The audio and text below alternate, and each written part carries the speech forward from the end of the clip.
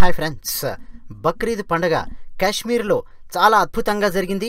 ఒక్క చిన్న గొడవ పోట్లాట లాంటిది ఏమీ లేకుండా ప్రశాంతంగా జరిగింది. అందుకు మాకు చాలా ఆనందంగా ఉంది ఫ్రెండ్స్. అది కూడా ఆర్టికల్ త్రీ సెవెంటీ రద్దు చేసిన తర్వాత కాశ్మీర్లో అలాంటి శాంతియుతమైన వాతావరణంలో బక్రీద్ జరగడం పాకిస్తాన్ వాళ్ళ కుట్రలన్నింటినీ మన సైన్యం తిప్పికొడుతూ అద్భుతంగా పనిచేయడం మన దేశానికే గర్వకారణం. ఇక మీలో కూడా ఎవరెవరైనా బక్రీద్ సెలబ్రేట్ చేసుకుంటే వాళ్ళందరికీ కూడా శుభాకాంక్షలు ఫ్రెండ్స్ ఇక విషయానికి వద్దాం. బిగ్ బాస్ వరుసగా హేమ గారు జాఫర్ గారు తమన్నా గారు ముగ్గురు ఒక్క వారం బయటికి వెళ్ళిపోయారు ఇహ ఈ వారం ఎవరు బయటికి వెళ్ళిపోతారో తేల్చే నామినేషన్ ప్రక్రియ జరిగింది.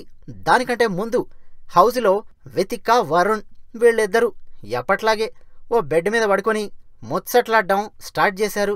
ఇహ వితిక ఎప్పట్లాగే వరుణ్ గుండె మీద వాలి. రొమాంటిక్గా కబుర్లు చెప్పడాలు ముద్దు ముచ్చట్లు ఇవన్నీ సాగాయి. ఇహ రాహుల్ సిప్లిగంజ్ మీ మధ్యలో నేనెందుకు అని నీట్గా సైడ్ అయిపోయాడు వరుణ్ వితికాను గారాబం చేయడం బుజ్జి బంగారం అంటూ ముచ్చట్లాడడం కనిపించింది.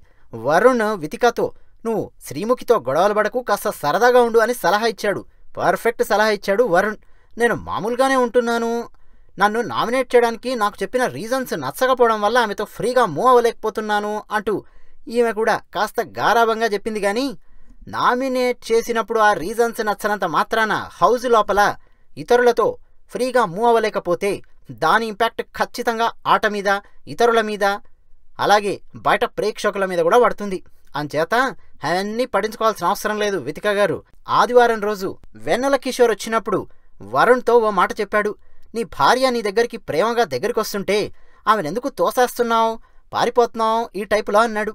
నిజానికి వరుణ్ అలా వెళ్ళడానికి కారణం చుట్టుపక్కల కెమెరాస్ ఉన్నాయన్న కాన్షియస్నెస్తో ఉండడం. వితిక ఆ కాన్షియస్నెస్ను పక్కన పెట్టేసింది. ఇక వెన్నెల కిషోరు వరుణ్కు సలహా ఇచ్చాడు.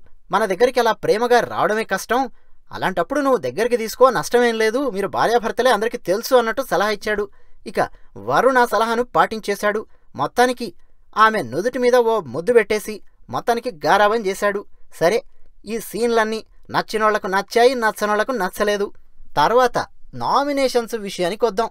నామినేషన్స్ ఈసారి ఇద్దరిద్దరిని లోపలికి పిలిచి మీ ఇద్దరిలో డిసైడ్ అయ్యి ఎవరు నామినేట్ అవుతారో తేల్చేయండి అని బిగ్ బాస్ చెప్పాడు. ఇహ మనోళ్ళు ఊరుకుంటారా?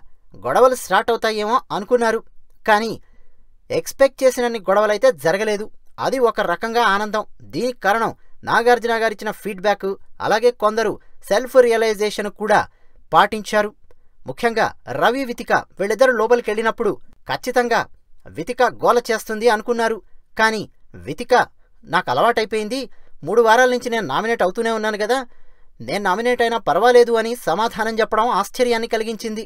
ఇక రవి అద్భుతంగా తనను తాను విశ్లేషించుకొని పోయిన వారం టాస్క్లో నేను చేసిన తప్పు వల్ల కొంత డిస్టర్బెన్స్ జరిగింది. ఖచ్చితంగా నేను దానికి రియలైజ్ అయ్యాను. అందువల్ల నేను నామినేట్ అవ్వాలనుకుంటున్నాను అని రవి చెప్పాడు. Hats off Ravi. అద్భుతం. రవి తనను తాను నామినేట్ చేసుకున్నాడు. అలా సింపుల్గా అయిపోయింది వీళ్ళది. ఇక తర్వాత రోహిణి శివజ్యోతి వీళ్ళిద్దరి మధ్య అద్భుతమైన అండర్స్టాండింగ్ ఉంది. వీళ్ళిద్దరూ ఏ గొడవ ఏ గోలా లేకుండా ఒక డిస్కషన్తో శివజ్యోతి తనను తాను నామినేట్ చేసుకుంది. రోహిణి సేఫ్ సైడ్ వచ్చింది. వీళ్ళిద్దరి మధ్య ఇంకో ట్విస్ట్ జరిగింది. అది కూడా చెప్తాం. ఇక వరుణ్ మహేష్ వీళ్ళిద్దరి మధ్య మాత్రం అంత సులభంగా సెట్ అవ్వలేదు. నేను సేవ్ అవుతానంటే నేను సేవ్ అవుతాను అని ఇద్దరు డిస్కస్ చేయడం మొదలెట్టారు. ఇక మొత్తానికైతే వరుణ్ మహేష్ చెప్పింది విన్నాడు. మహేష్ ఏం చెప్పాడంటే వరుణ్ నువ్వు ఇప్పుడు నామినేట్ అయినా మళ్ళీ నువ్వు సేవ్ అవుతావు అని నమ్మకం నాకుంది. నాకు ఆ నమ్మకం లేదు కాస్త భయంగా ఉంది అని చెప్పాడు. దాంతో వరుణ్ ఇక తనను తాను నామినేట్ చేసేసుకున్నాడు. ఇలా వీళ్ళిద్దరిది సాగింది. ఆ తర్వాత బాబా భాస్కర్ అశురెడ్డి ఇహ బాబా భాస్కర్ గారు ఎప్పట్లాగే నేనే నామినేట్ అవుతాను పర్వాలేదు అంటూ స్టార్ట్ చేశాడు. కానీ ఆ తర్వాత ఒక చిన్న చర్చ జరిగింది ఆసక్తికరమైన చర్చ. ఇక అందులో అశురెడ్డి ఒక మ్యాటర్ చెప్పింది. అదేంటంటే ఈరోజు ఓపెన్ చేసిన తర్వాత బాబా భాస్కర్ గారికి హౌజ్లోని ఒకరిద్దరికి మధ్య ఒక చర్చ జరిగింది. అదేంటంటే బాబా భాస్కర్ గారు నేను కిచెన్లోనే వర్క్ చేస్తాను నాకు ఇది నచ్చింది అలాగే గార్డెన్ ఏరియాలో వర్క్ చేస్తాను. ఇలా మాట్లాడడం మొదలెట్టారు. ఇక పునర్నవి. మీరు మూడు వారాల నుంచి చేస్తున్నారు కదా. ఇతరులు కూడా కిచెన్లో వర్క్ చేయాలి అనుకుంటారు కదా. అందరం అన్ని పనులు చేస్తే బాగుంటుంది అని చెప్పుకొచ్చింది. ఆ సందర్భంలో బాబా భాస్కర్ గారు మాట్లాడింది. నాకు నచ్చలేదు కాబట్టి నేను మిమ్మల్ని ఓపెన్ నామినేషన్ ఉన్నా సరే మిమ్మల్ని నామినేట్ చేయాలనుకున్నాను అని అశ్వరెడ్డి చెప్పేసింది.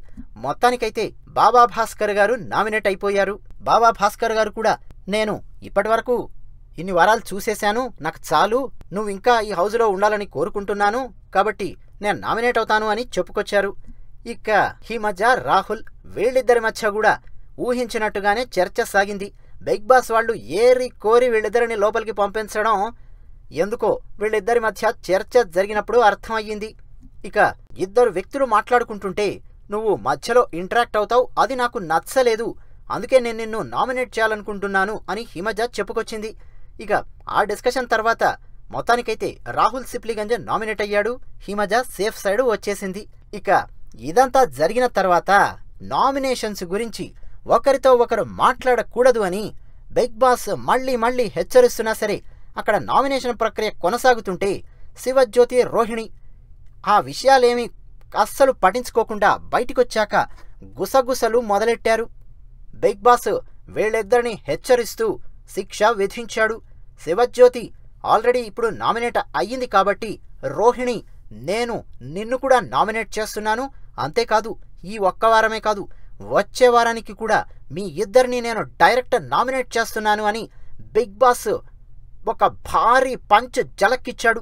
ఫ్రెండ్స్ ఖచ్చితంగా బిగ్ బాస్ ఇచ్చిన జలక్ మాత్రం అద్దిరిపోయింది. మీలో కొందరికి నచ్చకపోవచ్చు కానీ మాకైతే నచ్చింది. మేము కూడా ఫ్రెండ్స్ మన చెప్పాము గుర్తుందో లేదో మీకు. బిగ్ బాస్ ఏదైనా అనౌన్స్మెంట్ ఇస్తున్నప్పుడు కూడా వీళ్ళు సీరియస్ అనౌన్స్మెంట్స్ ఇస్తుంటే మధ్య మధ్యలో నవ్వడం బిగ్ బాస్ చెప్పేది వినకపోవడం బిగ్ బాస్కి అసలు వాల్యూ ఇవ్వకపోవడం ఇలా చేస్తూ వస్తున్నారు. ఇక శివజ్యోతి రోహిణి బిగ్ బాస్ మేము నామినేషన్స్ గురించి మాట్లాడట్లేదు అని చెప్పుకొచ్చారు కానీ బిగ్ బాస్ అసలు కేర్ చేయలేదు. ఎందుకంటే ఫ్రెండ్స్ ఆల్రెడీ మీరు రెండో వారం చూశారు. వితిక ఇలాగే తన పక్కనే భర్త పక్కనే కూర్చొని ఆయన చెవులు కొరకడం మొదలెట్టింది. నామినేషన్స్ ప్రక్రియ జరుగుతుంటే అప్పుడు కూడా బిగ్ బాస్ హెచ్చరిస్తూ ఆమెకు నువ్వు ఎవరిని నామినేట్ చేసే అవకాశం లేదు నీకు ఛాన్స్ ఇవ్వట్లేదు అని ఆమెకు ఓటేసే అవకాశాన్ని పక్కన పెట్టాడు బిగ్ బాస్. ఆ సందర్భంలో వితిక బిగ్ బాస్ నేను నామినేషన్స్ గురించి మాట్లాడట్లేదు అని చెప్పుకొచ్చింది కానీ బిగ్ బాస్ కేర్ చేయలేదు. ఆ సందర్భంలో మేం కూడా టీమిక్స్టర్ ఛానల్లోని వీడియోలో వితికను విమర్శించాం. ఆ విషయం కూడా మీలో కొందరికి గుర్తుండే ఉంటుందని మేము అనుకుంటున్నాం ఫ్రెండ్స్. అసలు అక్కడ బిగ్ బాస్ మాట్లాడుతుంటే పక్కన వాళ్ళ చెవులు కొరకడం ఏంటండి? నామినేషన్స్ ప్రక్రియ అంటే అత్యంత సీరియస్గా ఉండే ప్రక్రియ. ఆ ప్రక్రియ సాగుతున్నంతసేపు ఒక్క గంట సేపు ఒక్క గంట సేపు వాళ్ళు నోళ్ళు మూసుకొని కూర్చోలేరా? అది ఆశ్చర్యాన్ని కలిగిస్తోంది. మిగతా ఇరవై మూడు గంటలు వాళ్ళు ఇష్టం వచ్చినట్టు ఎవరు ఎవరితో అయినా ఏమైనా మాట్లాడుకోవచ్చు కదా? ఈ చిన్న లాజిక్ చాలామందికి అర్థం కావట్లేదు.